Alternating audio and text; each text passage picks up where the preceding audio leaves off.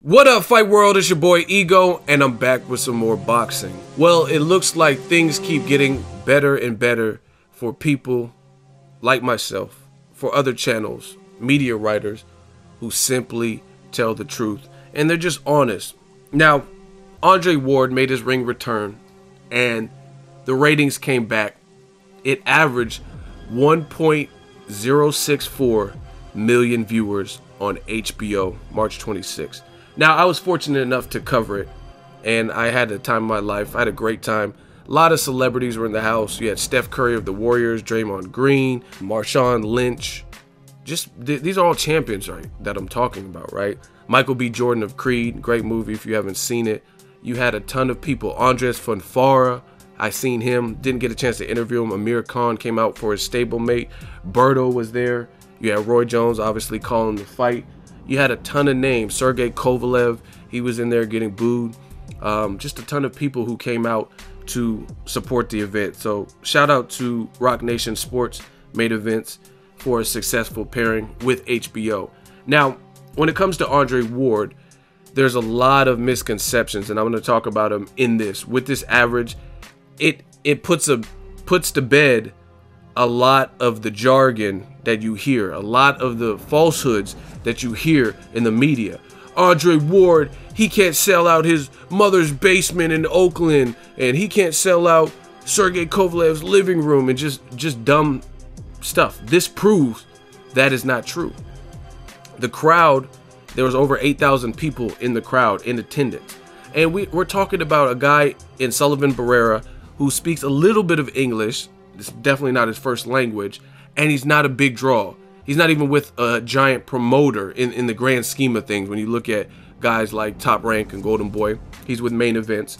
And, you know what I mean? He hasn't had that exposure like a Kovalev even or Canelo, Triple G. He hasn't been getting those types of high profile fights leading up to this. So to me, that is a critical success that Ward versus Barrera averaged 1.064 million views, right? Because you look at the undercard even. It was Joseph Jojo Diaz. That was his HBO ring debut. So a lot of people, I know a lot of my SoCal uh, boxing fam had seen him, but he hadn't been televised on HBO before. So it's not like you had the like star power. Like when Floyd Mayweather was doing some of his like Mayweather Victor Ortiz, he had Canelo on the undercard. You know what I mean? So that was a pay-per-view event and that helps it because Canelo was a rising star. People heard about him, had seen him, and he had that type of backing. So Ward didn't have that. He had Jojo Diaz and Jason Velez. Neither one of them, again, that was Jojo Diaz's first, very first HBO debut. And Jason Velez, I believe, was even coming off of a loss. And he's, he's not a big commodity. So that's good. These are good numbers as far as I'm concerned. And this card peaked the Ward Barrera fight peaked at 1.152 million viewers. So again, there, there's really nothing that anybody could say at this point regarding Ward's star power, his drawing power, despite what articles you read. It's just there's too many excuses out there, and we gotta find a way to put them to bed. Like if you listen to all the things that the critics, the media, look what people write, even myself, when I'm writing on my website, when I'm doing these videos, listen to what I say and then come back later on and tell me if I say something different. And that's what you get with a lot of there's a lot of this in boxing where they'll say things like if I use your logic regarding Andre Ward, then nobody can doubt that this is a success. One point over a million basically, over a million views. Reason being is they said Ward was past his peak, right? So if he's past his peak, why is he doing over a million? They said, oh, this is inactive bore Ward. Ward's boring. Ward's just so inactive. He fights like one time every four years. He's boring and inactive. So if he's that inactive, how is an inactive fighter drawing over a million views? And ESPN didn't come out to cover the fight. Uh, huge backing. Dan Rafael was not there, right? So you didn't even have the full support of some of the biggest media that covers boxing. ESPN, big vehicle. But I guess they only give Ronda Rousey Fighter of the Year awards, even though she got knocked out that same year. But whatever. You didn't have the backing of certain media, right? And Andre Ward talked about that when he was shadowboxing. He said, Some of y'all, I'll play the clip.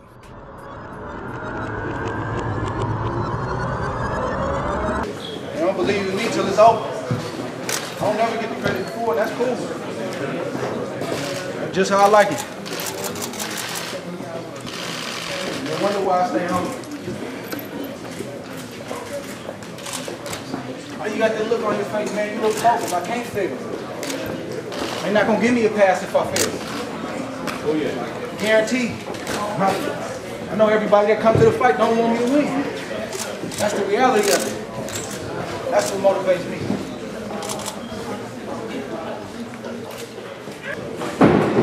Award this, award that, award this, award that. We keep working. We don't talk. We don't say nothing. We keep working. I see it. I don't respond to it. Just keep working. Then when it's over, we got a decision to make. We give it just due, or we gonna make an excuse on why it happened. We got a decision to make. We give it just due, or we gonna make an excuse on why it happened. They, they talked about him being inactive. He came in and he won the fight. You had uh, called him a, you called him a diva before. I want to know what do you think about Andre Ward overall? He's a, he's a great boxer, uh, but I, I think that um, this is the student. You're trying to match him against the teachers, which is Kovalev and Golovkin. That's just an impossible task. He didn't look like he could handle those guys today. He was able to handle uh, a young man with 17 fights, but uh, it's a different story moving up to the to the elite guys. We have a lot of work to do. We're going to be in a position, hopefully, in the next year, year and a half, to challenge again. And when we do, uh, hopefully, we'll do better. So you don't think uh, Ward is ready for Kovalev? Absolutely not. the shot that he was getting hit by by uh, by Sully today, uh, Kovalev was destroying him from shots. I think that uh, either he gets two or three more fights to sharpen up. Now, mind you, um, the Andre Ward that fought, let's just say, uh, five years ago, six years ago in the Super Six is a different guy that, that's today. Kovalev is at the top of his game. Uh, it would be impossible to, for me to think that uh, he has, has a, even a slight chance against Kovalev. But whether you do it, whether you do it or not, still love y'all. No, no hard feelings. I understand how it go. It's okay.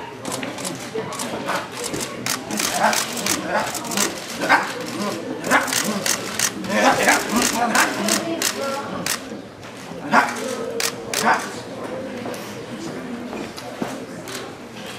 boxing 20 years.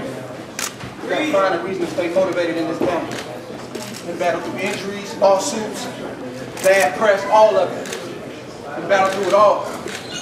They look at it like it's a negative, man. It's not. That stuff is what makes you.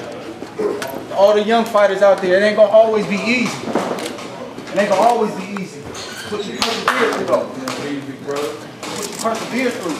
That's what you come out of, that's what makes you. The more they write, the more they fuel. They just throwing gasoline on. The more they write, they just fuel, fuel, fuel. I know it's certain writers that didn't get on the call on purpose.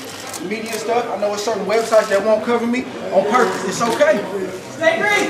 I got no no hard feelings. That's y'all. You don't have to do it. I just know though. That's what motivates me.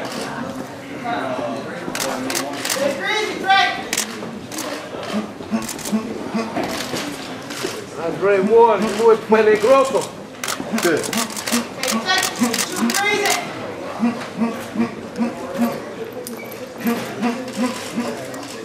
Now, so without the star power and the backing of some of the most powerful media that covers boxing, like ESPN, for whatever reason they didn't send anybody out, right? Even though when I went to Denver, Andre Ward was there also. He was covering, he was doing commentary. But when I went to Denver last year for Brandon Rios versus Mike Alvarado 3, and there was no celebrities really in the house other than Team Robert Garcia, Brandon Rios, and Alvarado's camp, right? It was just, we were in Denver. No big celebrities, no Michael B. Jordans and sports athletes and Steph Curry. There was nobody out there, right? Other than top ranked staff and pretty much the camps. And uh, Ward was co- calling the fight, right? And Dan Rafael made it out to that fight because I seen him. You know what I'm saying? So you can make it out to that fight, which turned out to be a total dud because Alvarado didn't look like he was in, in competition shape and he ended up retiring on the stool. but ESPN can make it out to that, but it couldn't make it out to this, which was the only thing going on in the fighting world. There was no UFC cards that I know of, no other boxing fights conflicting. Like when I covered Ward's last fight last year, he was competing with Hassan N'Dam versus David Lemieux over in Canada, as well as an even bigger fight in the States, Broner versus Porter. Happened that same day, June 20th. Because I remember I couldn't watch Broner. I was looking forward to Broner Porter. I couldn't watch it because I was covering Paul Smith versus Andre Ward.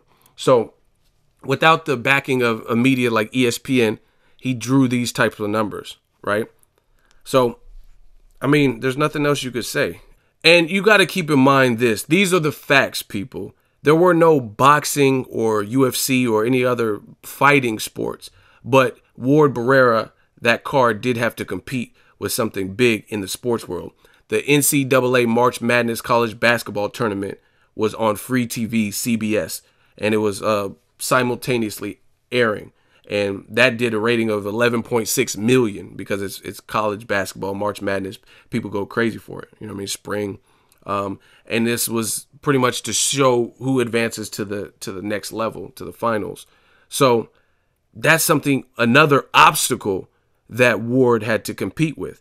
Like, and that's with anybody. If if there's a boxing event and there's a, a UFC card on, then both people will suffer. If there's two boxing events, if there's boxing and um, the Olympics or anything like that, anytime you have to compete with something major like the NBA finals or even golf finals, I'm sure could falter or or change the numbers, if you will, of the cable views because some people are like, I want to see who who's going into the final four, right? So that's another obstacle or hurdle that Andre Ward had to overcome. So not just the people like ESPN not showing up, not just the fact that he's been inactive, and, and again, stuff like that doesn't make sense because if he's so inactive, he shouldn't have been doing these types of numbers, right? If he's inactive, like you guys say, and then on top of that, March Madness, the Final Four, NCAA. Now, just to put salt in the wound and add insult to injury, I'm gonna bring some more facts out for you. And I know the detractors, the people who hate Ward,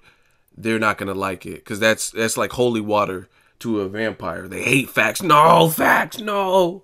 So let me give you guys some facts, right? Now this is a quick one.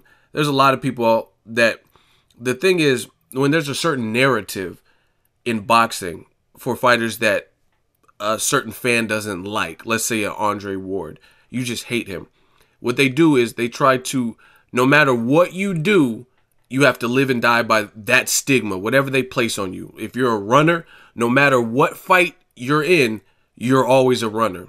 Like Floyd Mayweather gets it too. Oh, he ran, he ran. So even when he's fighting toe to toe versus Canelo or Cotto or Maidana in the first fight, he still ran because that's what you want to go with. Same thing with Ward. He's Andre Boer. He's so boring. He's inactive. So even though he fought more frequently than Pacquiao's last fight, right? He fought in June 20th last year, and then he also fought in March 26th. And Pacquiao's next fight's not till April 9th.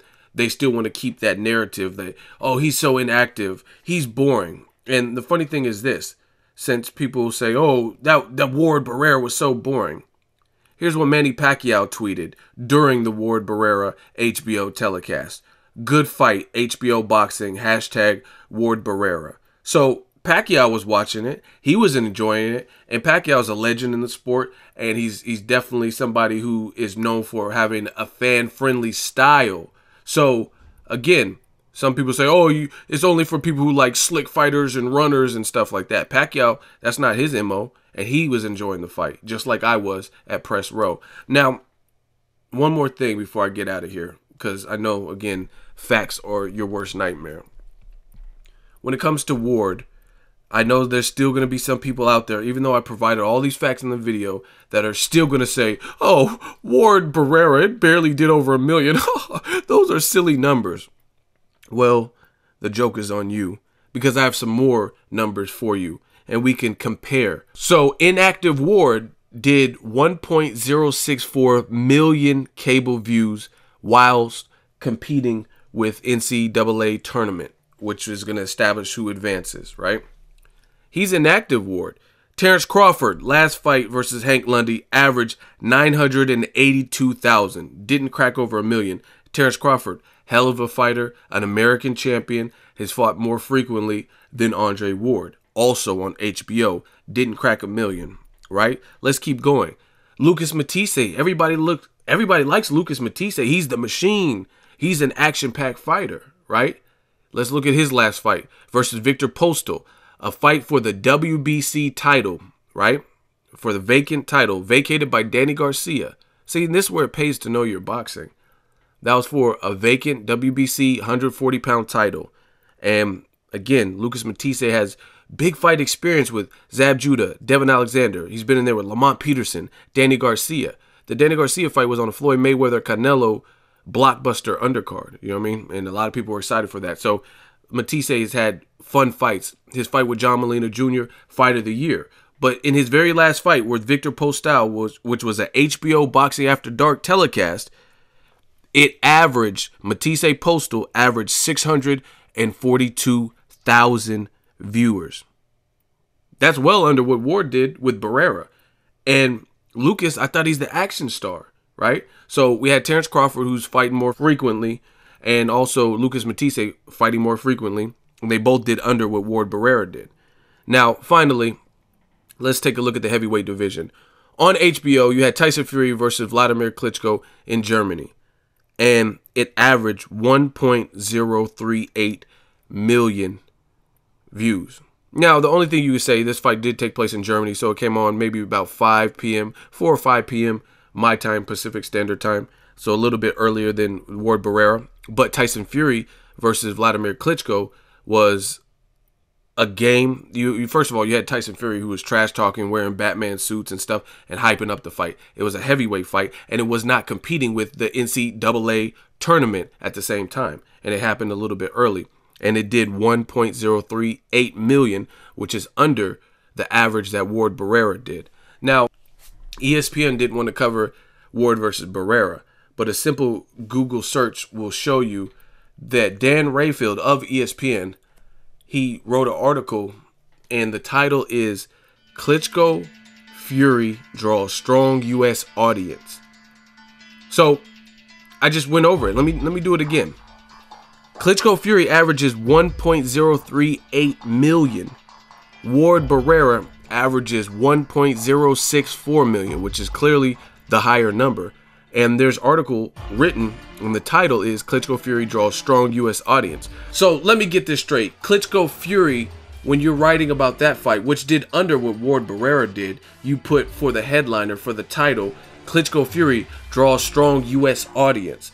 But Ward and Barrera on HBO did better numbers, did higher ratings than Klitschko Fury, and you simply just put for the headliner what it did. There's no extra indications. There's no extra verbiage. It's just Ward Barrera does. It's almost like you're mad that it did better than you anticipated, that it hit over a million views.